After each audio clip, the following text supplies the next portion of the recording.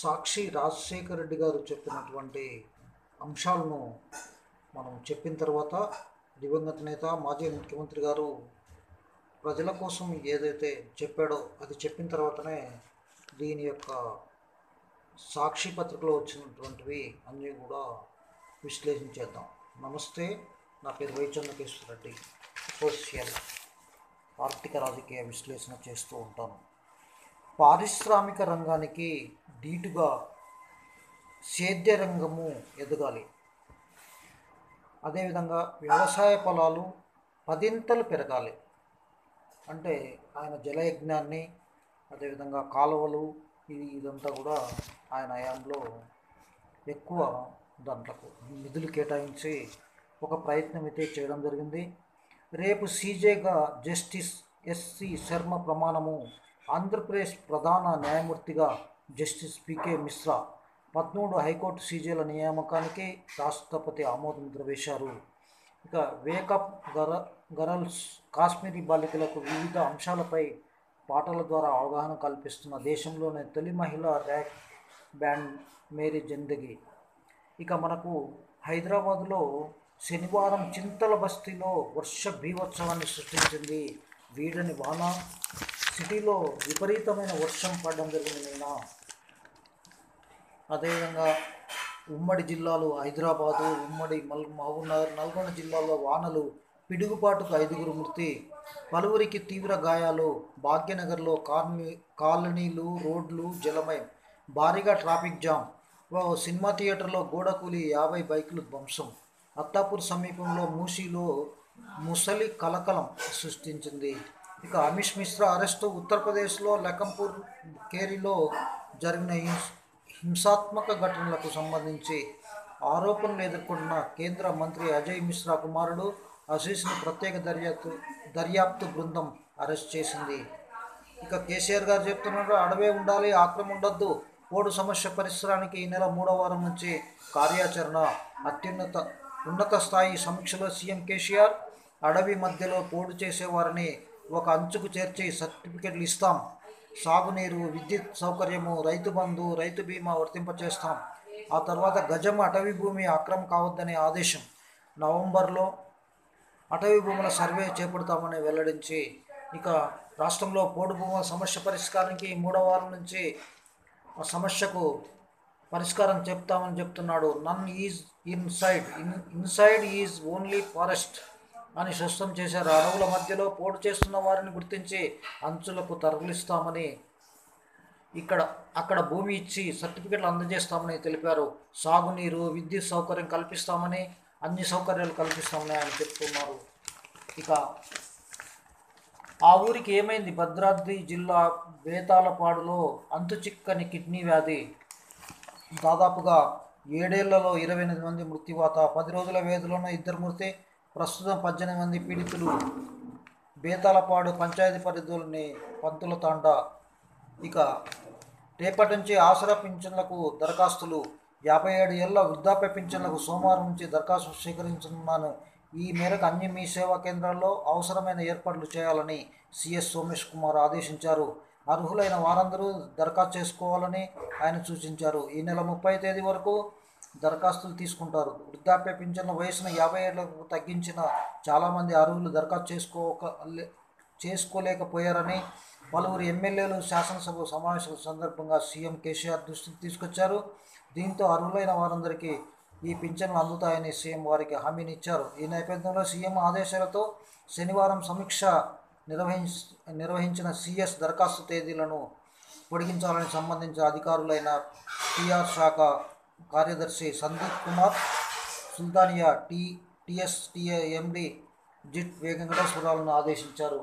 ఇక ముఖ్యంగా మనకు పిడుగులకు ఐదుగురు బలి వీడని వాన అడవే ఉండాలి ఆక్రమం ఉండొద్దు కేంద్ర గజెట్ను అడ్డుకుంటాం అంటూ రెండు రాష్ట్రాల ప్రజలకు అఖిలపక్ష నాయకుల పిలుపు.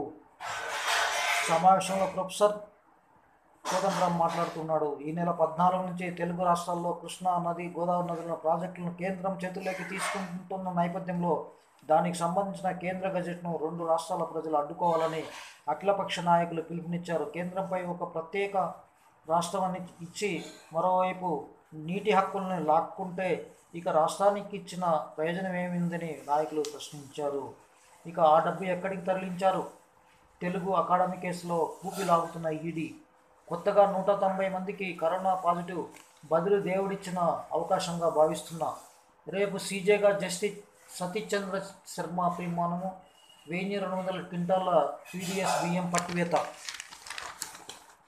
ఇక మనకు సినిమా పరివార్ హీరో పారితోషికం నా వల్ల రాదు నీ వల్లే అవుతుంది అంటూ జనతంత్రం వడ్డేపల్లి మురళి గారు ఒక ఆర్టికల్ను రాయడం జరిగింది. తెలంగాణ తొలి పోరాట భేరీ మనకు ఈ ఈ యొక్క జయదేవ్ తిరుమలరావు గారు ఒక ఈరోజు ప్రెస్ మీటు సోమాజిగడలో ఉంది. ఇక బొగ్గు సంక్షేమం తీవ్రం పంటల సాగులో రైతుకు స్వేచ్ఛ లేదా చాడా సీఎంపై సభా హక్కుల నోటీస్ పంపి పరిశీలిస్తున్నాం. ప్రజల కొనుగోలు చేయాలని సూచిస్తున్నాం. గాంధీ భవన్లో బతుకమ్మ సంబరాలు ఇక తెలంగాణ ఉద్యమమే స్ఫూర్తి. జనసేన అధ్యక్షుడు పవన్ కళ్యాణ్ తెలంగాణ సాయుధ పోరాటం ఉద్యమమే తనకెంతో స్ఫూర్తినిచ్చిందని ఇక్కడ ప్రజలు ఎంతో పోరాట పటిమ ఉందని జనసేన అధ్యక్షుడు పవన్ కళ్యాణ్ పేర్కొన్నాడు. రంగారెడ్డి జిల్లా మైనాబాద్ మండలం హిమత్ నగర్ సౌరస్థలో శనివారం నిర్వహించిన తెలంగాణ జనసేన పార్టీ సమావేశంలో పవన్ కళ్యాణ్ మాట్లాడి మా- మాట్లాడారు.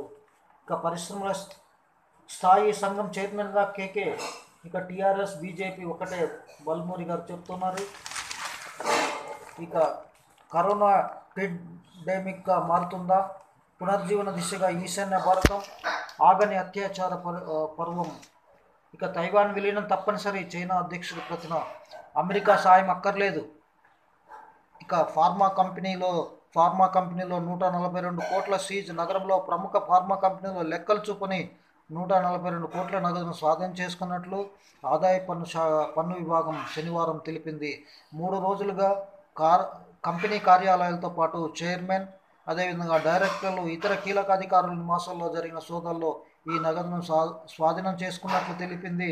ఆరు రాష్ట్రాల్లోని యాభై ప్రాంతాల్లో సోదాలు జరిపాయని పలు బ్యాంకులకు చెందిన పదహారు లాకర్లు లెక్కల్లో చూపించని ఐదు వందల యాభై కోట్ల లావాదేవీలు కూడా గుర్తించినట్టు తెలపడం జరిగింది. ఇక మనకు బంగారు సండే స్పెషల్గా చూసినట్లయితే నీ ఇల్లు బంగారంగాను ప్యాలెస్ను తలపిస్తున్న గృహాలు లిమిటెడ్ ఎడిషన్లో కొన్ని బ్రాండ్లు ఇక ముఖ్యంగా హైదరాబాదు ట్రాఫిక్ జామ్ కావడం ఉరుములు మెరుపులు విడుగులు మహానగరంలో గంటల కొద్ది ట్రాఫిక్ నరకం. ఇక ముఖ్యంగా మనం గమనించుకుంటే హైత్ నగర్లో ఏదైతే కాలనీలు ఉన్నాయో అవన్నీ కూడా చాలా ఇబ్బందికరంగా ఉన్నట్లు మనకు వార్తలు వస్తున్నాయి. మునిగిన బంజారా కాలనీ అంటూ మనకు కనిపిస్తున్నాయి. నీరు నిల్వకుండా చర్యలు తీసుకోండి. ఎమ్మెల్యే గారు చెప్తున్నారు సుధీర్ రెడ్డి గారు. కల్వర్టుల వద్ద కానరాని రక్షణ చర్యలు. Padmavamshi handloom textile market Kothapet X road Hyderabad వీళ్ళు ఒక డీటెయిల్మెంట్ ఇవ్వడం జరిగింది. ఇక కాలనీకి వెళ్ళే దారి మూసేశారనే ఆందోళన ఎల్బీ నగర్ లక్షల రూపాయలు హెచ్చించి తాము నీళ్ళు నిర్మించుకుంటే దారిని కబ్జా చేసి గేదెల పాక చేసి తమ ఇళ్ళకు వెళ్ళే మార్గం లేకుండా చేశారని B N Reddy Nagar divisional Sama Nagar colony వాసులు వాపోతున్నారు ఇక ముఖ్యంగా సినిమా స్పెషల్ గురించి చూసుకున్నట్లయితే అమిక్య రేఖ మేకప్ రూరల్స్ ఇట్లు రేవతి ఒక ఇట్లు అమ్మ అంటూ ఒక సండే స్పెషల్గా వీళ్ళను అద్భుతంగా చిత్రీకరించడం జరుగుతోంది సినిమా. ఇవి మనకు ముఖ్యమైన వార్తలుగా చెప్పుకుంటున్నాం. ఇక ఇప్పుడిప్పుడే ఈ యొక్క ఫైనల్ వేటలో నేడు ఐపీఎల్ తొలి క్వాలిఫైయర్ ఢిల్లీ చెన్నై మధ్య పోరు సాయంత్రం ఏడు గంటల నుంచి ఏడున్నరకు స్మార్ట్ బోర్డులో ఒకటిలో ప్రత్యక్ష ప్రచారం. ఇక భారత్ ఖాతాలో ముప్పై పథకాలు ఆఫ్ఘన్ జట్టు కన్సల్టెంట్గా ఫ్లవర్. ఇక గ్రీన్ ఫండ్ ఏర్పాటు నుంచి పరిణామాలు రెండు గంటల గర్భిణి నరకయాతన. గ్రామానికి రోడ్డు సౌకర్యం లేక చేరుకోలేని నూట ఎనిమిది. మధ్యలో చెడిపోయిన ప్రైవేట్ వాహనం. రోడ్డు సరిగా లేక ట్రాక్టర్లు ఆసుపత్రికి పురిటి నొప్పులతో విలవిలలాడిన గర్భిణి. ఒక్క టాబ్లెట్తో బ్యాక్టీరియా కథం